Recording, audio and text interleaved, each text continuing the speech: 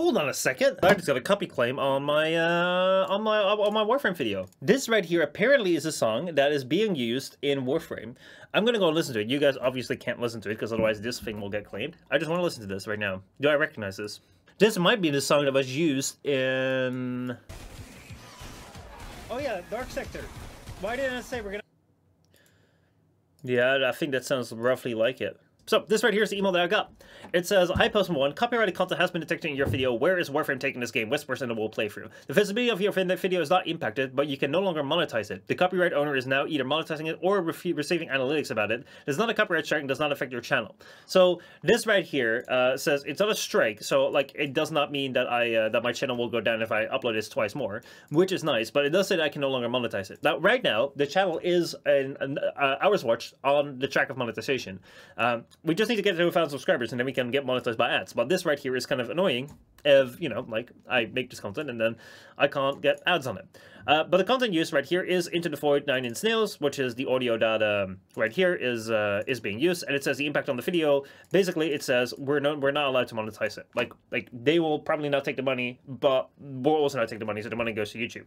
What can we do? We can leave the video as is. We can edit out the segment or you can uh, submit a dispute to the copyright owner if you have the rights to the content, or you can re-upload the video without the copyrighted content. So this right here, because this is just my stream, I don't really care all that much about it. I do intend to upload a uh, full uh, unedited, like a, a, full edited video later on, on which I do care a little bit more about what is going on with it. Uh, so I will edit this out.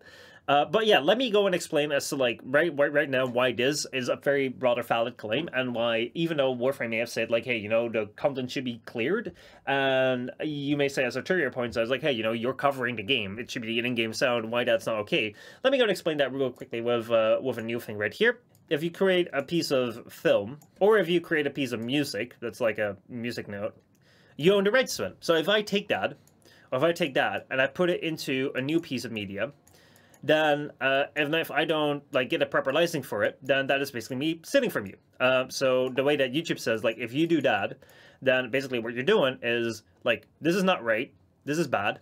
Um, so then the money that you make from this goes back to these people. Now, one of the things that you uh, that people often say is fair is fair use. So let's say that I want to talk about this piece of media right here, or I want to talk about this song right here.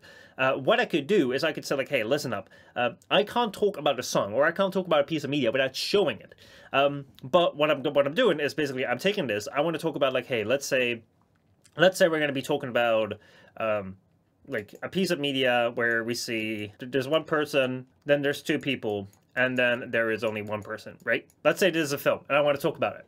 And I want to talk about the impact of like, you know, like showing first one person shows the loneliness, and then that shows the hope that there is, you know, uh, that there's that you can encounter someone else. But then it shows the the tragedy of life where people will leave you and you will be alone forever after, right? Um, I can show that, like, like I can show that, and then show these individual things one by one. Be like, hey, like right here, I think that the the the, the film artist portrays this very well, the sense of loneliness, or doesn't, uh, or the film artist right here portrays this very well. Like you talk about it, and that's where fair use comes in, and that's also something that has been argued with games. games like Let's Plays are kind of in this very much a gray area because, in a sense, like just be honest about this, right? It's like how much different is a Let's Play, right, from a reaction video? Like this right here is the worst created like controller ever. But how much different is a let's play from a from a re reaction video? Because basically what you're doing with a, with a let's play is you're playing through the game. Like yesterday, I played through the the Quest of Warframe, and as I was playing through it, like you're playing it from start to end, everyone can see it, and uh, basically I'm just kind of reacting to what's there. I'm giving more context. Like I'm, I'm telling you like this is what this is what's going on,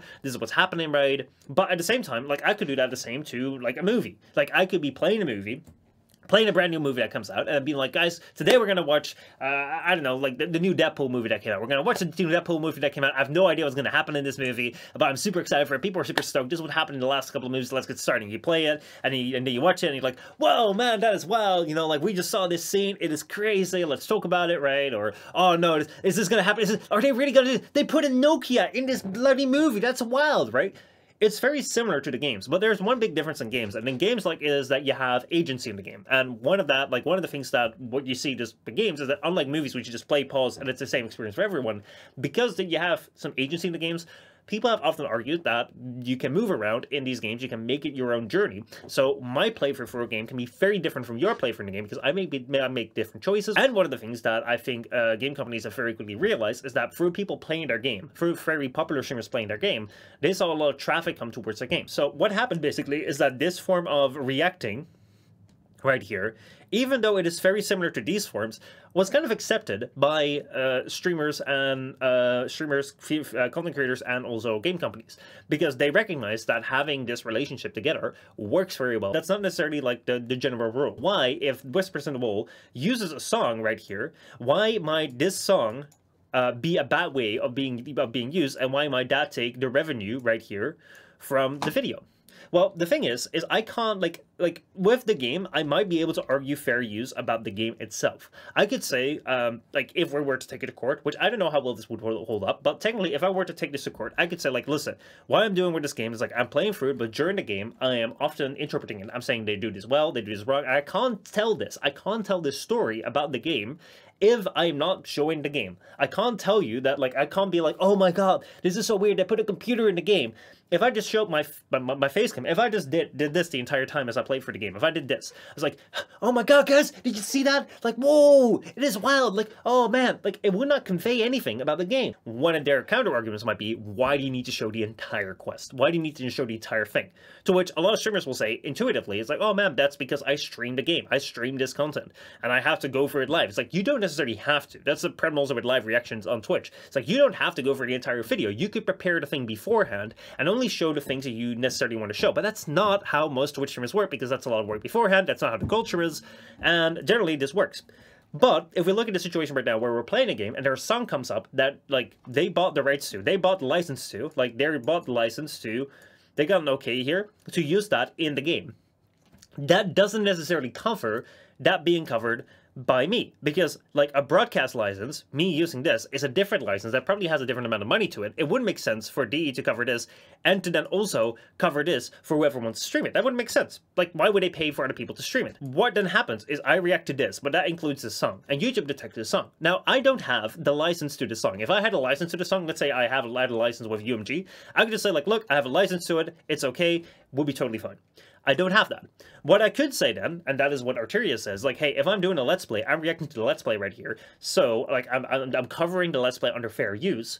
Uh, and because of that, like, this should be covered under fair use as well, right?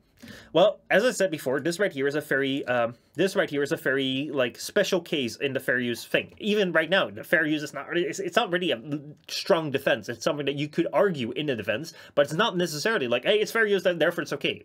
It has been argued in court, and some cases have been won, but that would be, let's say, the H3H3 case, where they use segmented clips of a video to react to it and give, and, like, explanation. It wasn't a market substitute, whereas a Let's Play of an entire quest could be seen as a market substitute if you're like only there to play the quest through watching through. So that's right here. This right here is kind of the exception. And then the song maker could say like, well, you know, sure, you're going for the quest, but you're not talking about the song. You're not reacting, like, like you're not criticizing the song. You're not here to be like, hey, you know, this song right here is doing this and this and this. I'm not like making comments on the song. I might say like, oh wow, that's that's crazy, that's really cool. But is oh wow, that's crazy, that's really really cool. Is that a comment that was needed that needed that entire bit of song? So in that sense, it's like I don't necessarily think that I have a strong fair use defense on this. Um, even though the game may think that this is fine, I don't have a license to cover this game. We have a general understood agreement within this industry, in this community, that we do something like this, and it's okay. But we don't have, I don't have, like, that doesn't work in this industry. And I don't have the license, nor do I have necessarily the fair use defense for this. So I will cut out that song and try and replace it with a, uh, with a similar song from, um, from Epidemic Sound.